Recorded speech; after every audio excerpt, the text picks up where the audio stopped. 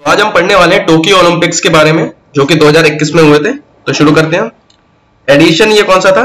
ये बत्तीसवा एडिशन था टोक्यो ओलंपिक्स का इसका मोटो या थीम था यूनाइटेड बाय इमोशन ये पूछ लेता है एग्ज़ाम्स में।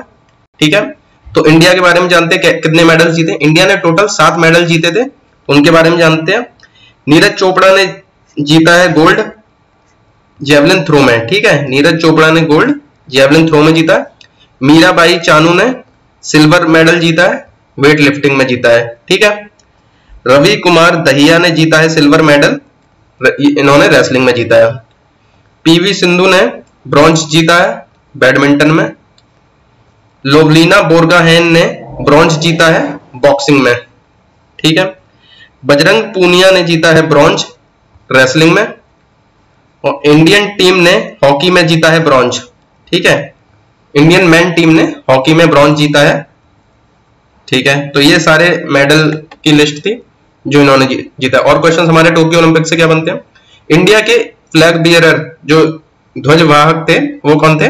तो ओपनिंग सेरेमनी में दो लोग थे। एमसी मैरी कॉम थी, ये बॉक्सिंग के लिए जानी जाती हैं। और मनप्रीत सिंह, जो कि हॉकी टीम के हमारे कैप्टन है। ठीक है?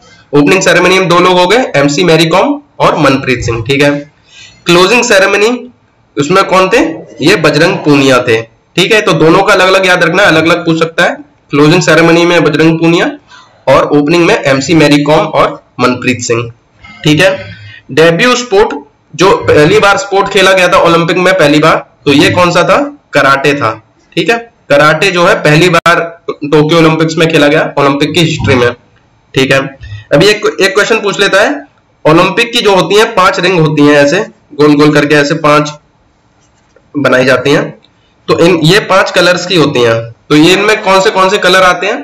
तो इसमें रेड ब्लू येलो ग्रीन और ब्लैक ये पाँच कलर होते हैं। तो इनको याद करने का हम ऐसे ट्रिक यूज़ कर सकते हैं।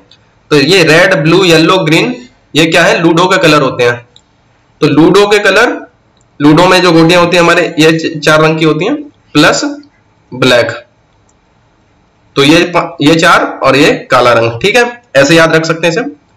अच्छा इंडियन इन ओलंपिक ज्यूरी मतलब ओलंपिक की ज्यूरी बनाई जाती है, जिससे कि डिसाइड होता है कि सब सही हो रहा है या नहीं हो रहा है ओलंपिक मेडल कौन जीता है।